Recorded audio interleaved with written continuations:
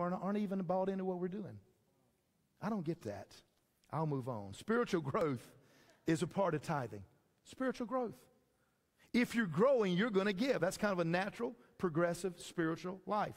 Love gives, love grows. And, and trust me, that's part of your spiritual growth. So, part of the reason why I think it's important for me to encourage you to tithe and even know about leaders that you're giving is that I want to see that you're growing spiritually, that you're growing to that next step. I'll talk about growing here in a minute at the end.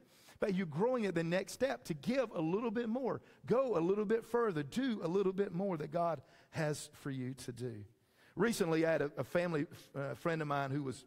Um, a family friend of mine who was recently going to um, who, who was going to asking god for provision financially they were saying god i need financial provision i, I need you to take care of my needs and instead of uh, provision coming through the lottery or through you know publishers clearinghouse mailbox you know because we all like mailbox money don't we?